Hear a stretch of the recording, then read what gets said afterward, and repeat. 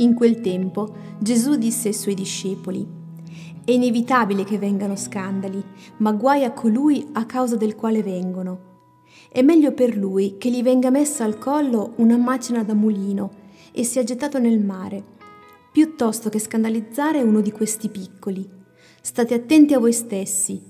Se il tuo fratello commetterà una colpa, rimproveralo, ma se si pentirà, perdonagli. E se commetterà una colpa sette volte al giorno contro di te e sette volte ritornerà a te dicendo sono pentito, tu gli perdonerai. Gli apostoli dissero al Signore, accresci in noi la fede.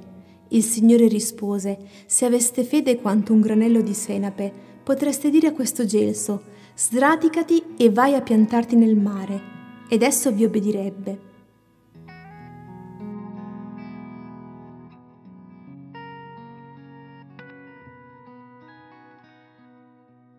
Fortissima e drammatica l'immagine di chi deve essere gettato in mare con al collo una macina da mulino.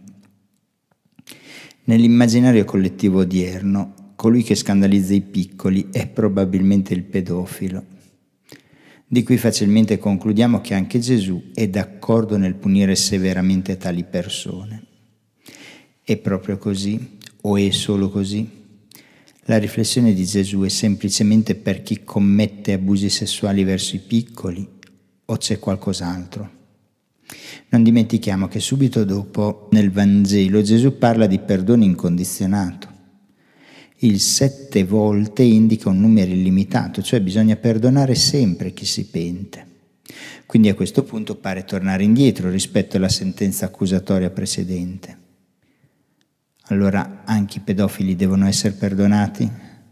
O forse Gesù intende dire qualcosa anche per coloro che si reputano giusti e giudicano senza pietà? In effetti lo scandalizzare non può essere solo di chi commette un peccato, ma anche di chi non sa educare i piccoli.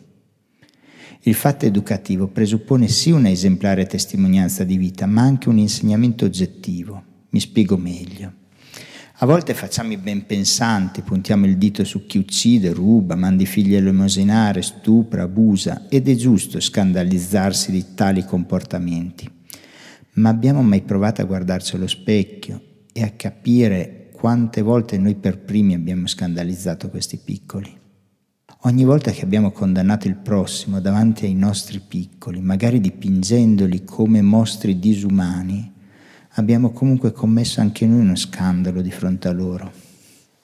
Se non sappiamo insegnare ai nostri piccoli la differenza tra peccatore e peccato, tra la persona e il suo errore, certamente in qualche modo creiamo uno scandalo, cioè qualcosa che non combacia con il Vangelo. Sentivo una trasmissione di Rai 3, Uomini e Profeti, dove una regista teatrale, Chiara Guidi, che fa teatro con i bambini, ammoniva i genitori che non sanno narrare le verità della vita ai figli. Spesso gli buttano addosso le loro paure e dipingono la realtà per come loro la vedono e non per com'è. Concludo lasciando proprio alcune battute della trasmissione. Questa è la responsabilità dell'adulto, raccontare al bambino. Ma ad esempio, vi faccio un esempio molto semplice, io racconto al bambino la storia della zecca.